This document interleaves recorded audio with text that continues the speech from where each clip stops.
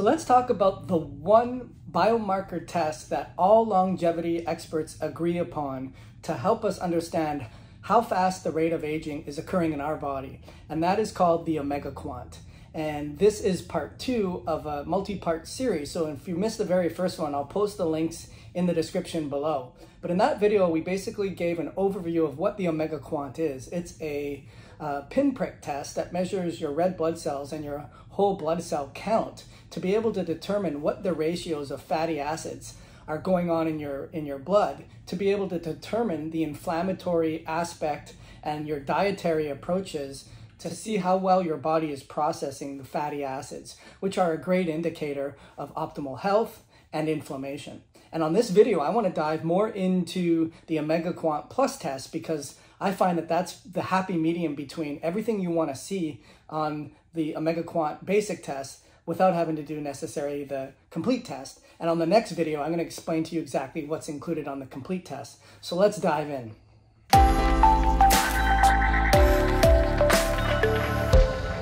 Hi, my name is Dr. Joel Rosen, and I am a health and wellness optimization coach. I help exhausted men and women that are looking for fountain of youth to be able to tap into and realize it's really within their own body so that they can be their best self. And on this video, I really want to dive into what's included on the Omega Quant and why I'm so in love with it to be able to tell you what's going on with your rate of aging. And on the Omega Quant Plus test, basically you're going to get the omega-3 index, you're going to get the omega-6 to omega-3 ratios, you're going to get the arachidonic to the EPA ratio, and you're going to get your trans fatty acid ratio. So let's explain what each one of these mean. As we explained in video number one, the omega-3 index is really taking a blood spot of which represents your whole blood, and it is looking at the percentage of EPA and DHA in the red blood cell because ultimately the red blood cell analysis can factor as a high as 98% accuracy with a whole blood uh, sample because of a proprietary software that they use. But ultimately what you're doing is you're looking at the red blood cell content of omega-3s in that red blood cell content. And then you figure out what the percentage of those omega-3s are to the entire ratio of, of your fatty acids to see what your omega-3 ratio is. Ideally, we explained it should be at least 8 to 12. If it's lower than 4, that's a, a major consideration as well. And we see that the studies with the highest longevity markers are the ones that are in the 8 to 12 ratio. And we mentioned getting really good oily based fish, salmon, you can get uh, oysters, you can get halibut, you can get cod. There's a lot of different foods that you can get, as well as supplements such as algae, krill, and omega fatty acid oils.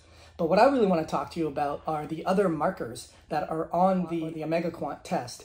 And the first one we look at is the ratio of omega 6 to omega 3. Now, there's a lot of controversy on this because when we think about omega 6s, we think about them as being inflammatory and partially hydrogenated oils or, or foods that are processed. They're very high in omega 6s, and we know what we want to see is a ratio of 5 to 1 or 3 to 1, meaning there should be no more than 5 times more omega 6s to omega 3s or no more than 3 times to 1. And ultimately, though, here's where the problem lies because research has shown that linoleic acid, which is omega 6, is correlated with uh, optimal heart function and optimal health. So we really want to make sure that we are not throwing the baby out with the bathwater and we are getting good plentiful sources of omega-6 linoleic acid. And these are things as vegetable oils, but I would be careful with which vegetable oils and how you're preparing them because if you're heating them past their smoke point or they've been exposed to sunlight, then they can rancidify and create major challenges. But we look at things like avocado oil or olive oil to really get a, a really great amount of omega-6, which is very, very important. And on the flip side, being very aware of not getting too much of the processed hydrogenated foods so that your omega-6 ratio is ideal. But what the Omega Quant company teaches is that it's much, much easier to be able to balance your omega 3s through your diet with everything we just said with your omega 3 index and focusing on the right supplements and focusing on the right foods to be able to boost your 3 and also make sure that you're removing the harmful omega 6s and you're getting the ideal linoleic acid vegetable oil sources. And another interesting tidbit that the Omega Quant company suggests is research shows that we should be getting somewhere between 12 to 24 grams of linoleic acid in your diet per day. The next major ratio that we see on the Omega Quant Plus test, which I think is what pays for itself with the information that it gives you, especially if you're looking to reverse your age or slow your rate of aging and feel a lot better. And that's why I love this test so much because we know that inflammation drives cellular wear and tear. And by looking at your omega fatty acid profiles, you could tell what's going on with that acceleration of your cellular health. And no better ratio, in my opinion, will you be able to determine when you look at your arachidonic acid, which is an omega 6, which is an inflammatory based omega 6, which happens to be influenced by metabolic processes in your body, to your EPA ratios. And really, we want to see somewhere in the ratio of between 2.5 to 1 to 11 to 1. So what that means is for every arachidonic number you have of omega 6, you don't want to see more than 11 to 1, and you want to see somewhere in the area of 2.5 to 1.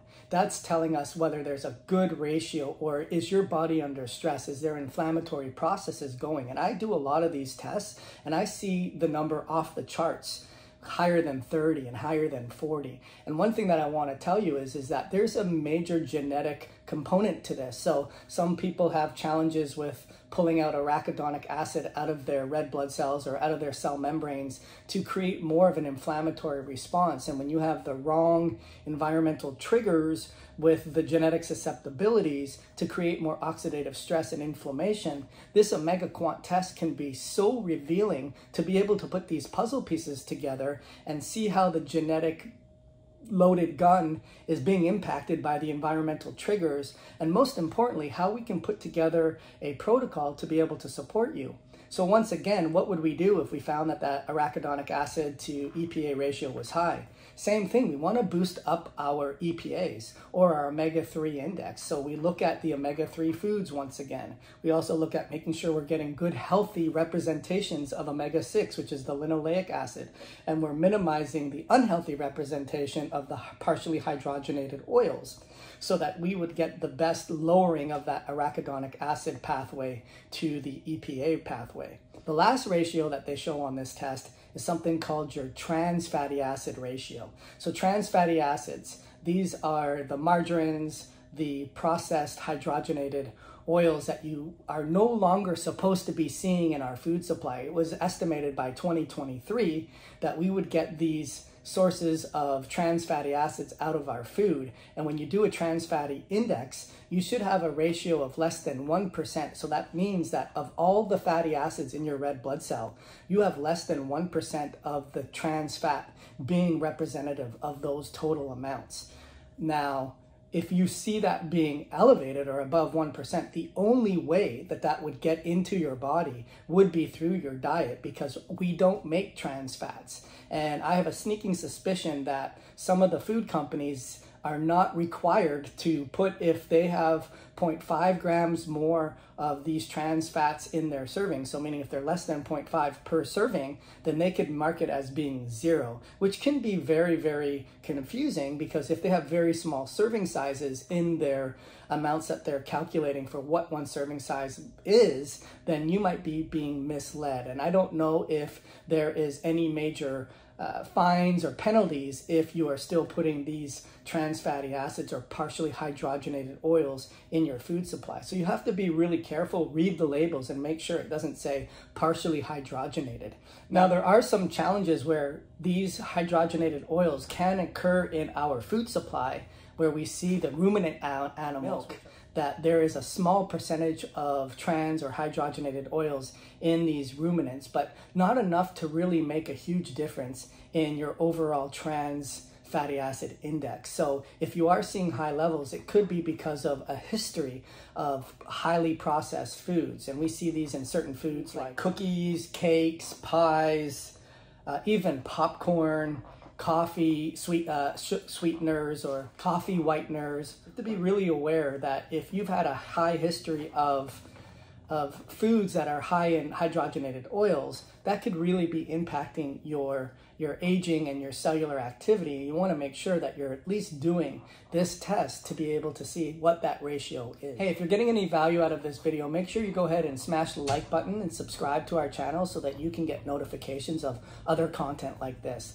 So on my next video, what I want to do is I want to actually explain to you the complete test. The complete test is fascinating because it shows you the entire profile of the omega-6 fatty acids. And what's really great about this is if you're looking to reverse your age and be able to feel the best as you possibly can, and you're looking for biomarker tests that all the longevity experts agree upon, then you're really going to want to make sure that you watch that next video so I can explain to you what the complete test entails and whether or not the basic, the plus, or the complete test are best for you. And in the links below, I'll have the links to the website, I'll have the links to their omega 3 calculator, I'll also have a list of different foods that are higher in omega 3s and higher omega 6s that are healthy. And really, I want to give you value so that you know the best information for you to be able to not only halt your aging, but reverse your aging. So I'll see you on the next video.